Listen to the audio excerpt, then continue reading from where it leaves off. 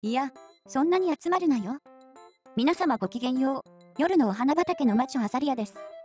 コラボのバスカフェ、暇そらしアナル君は行くなと言っているのに行って迷惑をかけたり不法行為と取られることをしてるおバカさんが後を絶ちません。コラボ用語側も、用語側で変な人たちが出てきたりと混沌を極めています。そんな中、神奈川新聞記者柏明子氏が次のようなツイートをしていました。コラボのバスカフェで女たちの壁として有志女性50人が集まり嫌がらせへの防衛をしました。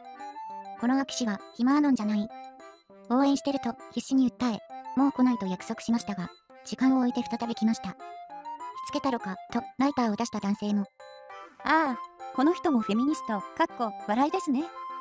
都合のいい時だけ女という立場を利用する。それにしても、新聞記者がこういう活動をするのって報道に関わる人間としてどうなんでしょう？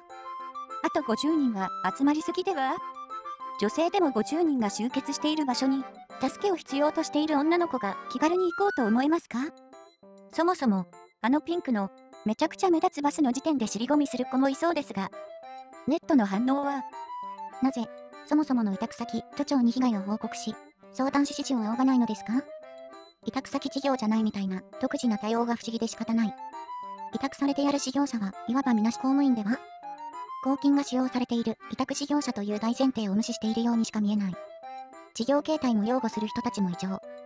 見た感じ50人だと選挙のレベルでは？通報するべきでは？この秋氏の言動はいかがなものか？っていうのはわかる。しかし、こうやって、この秋氏を出しにして被害者プレイをアピールすることしかせずに、本来の公金中中疑惑から話をそらそうとする姑息な魂胆が丸見えで、逆に悪目立ちしているのは、コラボそのものなんですけど、コラボの周りって、ろくな奴集まらないな、神奈川新聞の記者含めて、女を壁扱い、二頭夢のさんは、こういうやつこそ、ボロクソに攻撃するべきでは？ひどいデマだと、早く証明するためにも、領収書を出せばいいのにな。2月28日までにちゃんとしろ。コラボと夢にゃんが迷惑してるって、東京都の担当部署にきつく言わないといけないね。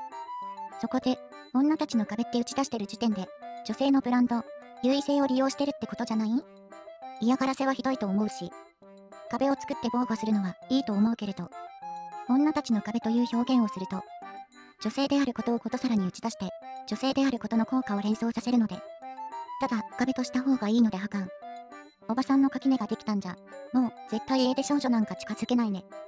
もっとも最初から救済していたわけじゃないから、関係ないだろうけど。これは神奈川新聞の公式見解なのかな？一般人が新宿区役所付近を歩くのと、女性が50人ほど集まり壁を作るのとでは、どちらが一般の通行人にとって迷惑だろうか。バスカフェ周辺はコラボに着地点でもあるのだろうか。